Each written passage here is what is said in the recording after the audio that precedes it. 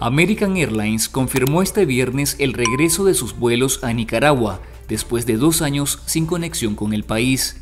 La compañía estadounidense anunció la reanudación de sus operaciones para el próximo 30 de noviembre con la ruta de vuelos diario entre Miami y Managua. United Airlines y Spirit no han anunciado la reanudación de sus vuelos. Tampoco se conoce si el gobierno de Daniel Ortega flexibilizó sus requisitos para volar a Nicaragua, entre los que exigía a las aerolíneas presentar listas de pasajeros con 72 horas de anticipación, medida que se volvía imposible de cumplir para las empresas estadounidenses.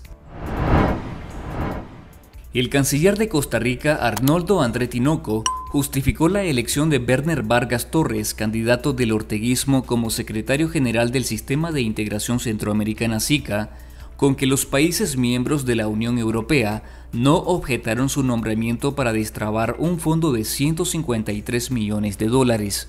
El canciller insistió en que la elección de Vargas no representaba un espaldarazo por parte de Costa Rica al régimen de Daniel Ortega y Rosario Murillo.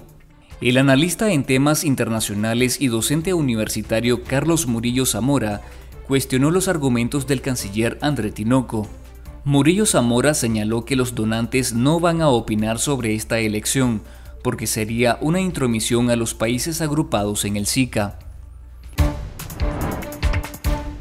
En nuestro canal de YouTube Confidencial Nica, les invitamos a seguir de cerca nuestra cobertura sobre la persecución del régimen de Daniel Ortega contra la Iglesia Católica, en nuestros reportes noticiosos, entrevistas y reportajes.